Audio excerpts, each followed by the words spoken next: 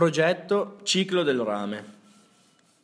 Vi presentiamo il ciclo del rame, che, attraverso reazioni, permette di ottenere il rame in differenti specie chimiche, sia per struttura che per colore.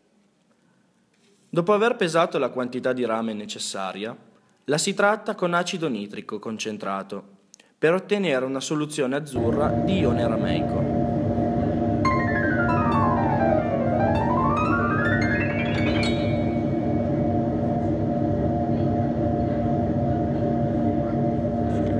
Si scalda fino a completa scomparsa dei vapori rossi. Alla soluzione acida si aggiunge una soluzione di idrossido di sodio, fino a precipitazione dell'ossido rameico, controllando la basicità della soluzione. Il precipitato blu intenso corrisponde all'idrossido rameico formato.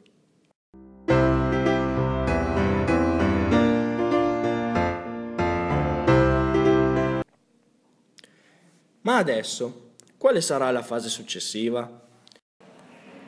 La fase successiva sarà la precipitazione dell'ossido rameico nero, che viene ottenuta riscaldando la soluzione su una piastra riscaldante con agitatore magnetico. A questo punto tutto il rame si è trasformato in ossido rameico nero.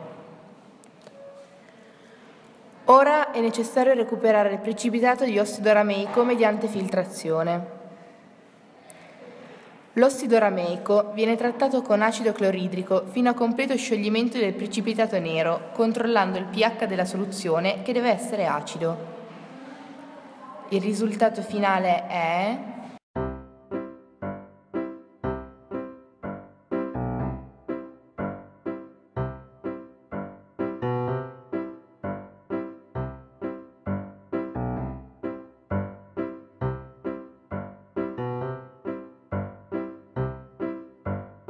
Per riottenere il rame di partenza è necessario trattare la soluzione con zinco metallico. Si svilupperanno perciò sia gas di idrogeno che rame precipitato.